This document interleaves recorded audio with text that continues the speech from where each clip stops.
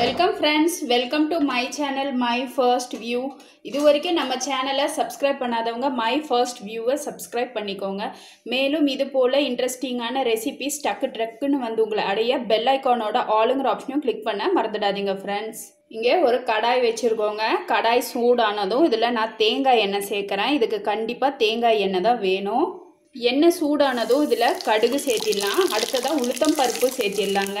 இது கொஞ்சம் அந்த க்ரன்ச்சினஸ் கொடுக்கும். அதுக்காக உளுத்தம் பருப்பு சேர்த்துறோம். இந்த கடுகு உளுத்தம் பருப்பு பொரிஞ்சதும் அடுத்ததாக நம்ம இதில் முட்டை சேர்க்க போகிறோங்க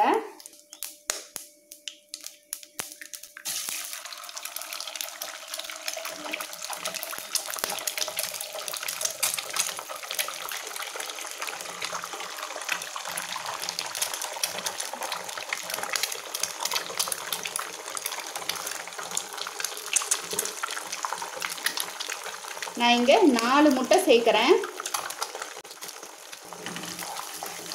இப்போ இந்த முட்டை வந்து இந்த எண்ணெயிலே நல்லா வதக்கிக்கலாம். இந்த துளுத்தி துளுத்தி முட்டை பொரியலில் பார்த்தீங்கன்னா நம்ம வெங்காயம் சேர்க்க போகிறதில்ல ஆனால் இது ஒரு தடவை செய்து பாருங்கள் செய்து பார்த்துட்டு உங்களோட கமெண்ட்ஸை மறக்காமல் கொடுங்க. அந்த அளவுக்கு சூப்பராக இருக்குங்க.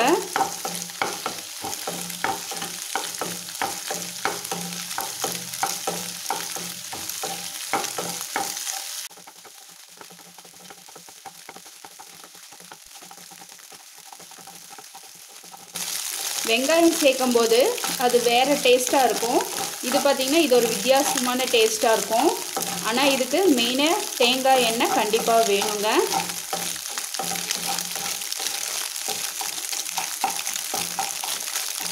இப்போ ஃப்ளேமை கூட்டிக்கலாம்.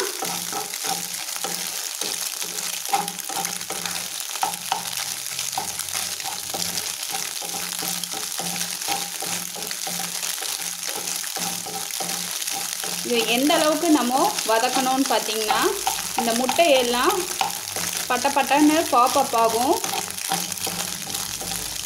அது எப்படி இருக்கும்னு பார்த்தீங்கன்னா ஒவ்வொரு பிட்டும் எடுக்கும்போது சுற்றியும் கொஞ்சம் க்ரன்ச்சியாக இருக்கிற மாதிரி இருக்கும். நம்ம நார்மல் முட்டை பொரியல் வந்து சாஃப்டாக இருக்கும் இல்லைங்களா? இது அது போல் இருக்காது. நீ கொஞ்சம் அது செய்கிற மாதிரியே தான். ஆனால் அதை விட கொஞ்சம் டைம் கொடுக்கணும் இதுக்கு.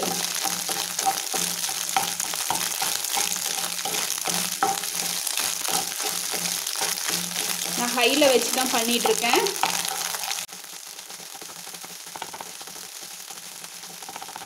இதுக்கு வந்து நம்ம கடலை பருப்பு எதுவும் சேர்க்கக்கூடாதுங்க. உளுத்தம் பருப்பு உடச்ச உளுத்தம் பருப்பு மட்டும்தான் சேர்க்கணும்.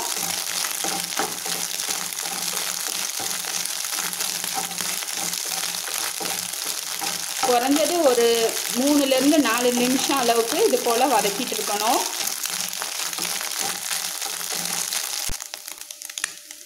பார்த்திங்கன்னா சவுண்டு படப்பட்டாங்குது பாருங்கள் இப்போ இது ரெடி ஆயிடுச்சு. இப்போ இதுக்கு தேவையான அளவு உப்பு கூடவே குருமிளகுத்தூள் சேர்த்திக்கலாம். குருமிளகுத்தூள் வேண்டான்னா மிளகாய் பொடியும் சேர்த்திக்கலாங்க. இது பார்த்திங்கன்னா எவ்வளோ நேரம் ஆனாலும் சொத சொதன்னு ஆகாதுங்க. நம்ம டிஃபன் பாக்ஸ்க்கெல்லாம் இது இது போல் செய்து கொடுக்கலாம். நம்ம வெங்காயம் சேர்க்கும் போது என்ன ஆகும்னு பார்த்திங்கன்னா அவங்க மத்தியானம் போய் ஓப்பன் பண்ணும்போது கொஞ்சம் சொத சொதன்னு இருக்கிற மாதிரி இருக்கும். ஆனால் இது அது போல் இருக்காது. பாருங்கள் ஒவ்வொன்றும் நல்லா சுற்றிலும் கிறிஸ்பு ஆன மாதிரி சூப்பராக இருக்கும். இதை ஒரு தடவை செய்து பாருங்களேன். உங்களுக்கே ரொம்ப பிடிக்கும். ஆனால் தேங்காய் எண்ணெயை மறந்துடாதீங்க. அவ்வளோதாங்க இப்போ ஃப்ளேமை ஆஃப் பண்ணிடலாம். கடைசியாக நீங்கள் விருப்பப்பட்டீங்கன்னா கொத்தமல்லி தலையை கட் பண்ணி சேர்த்திக்கோங்க.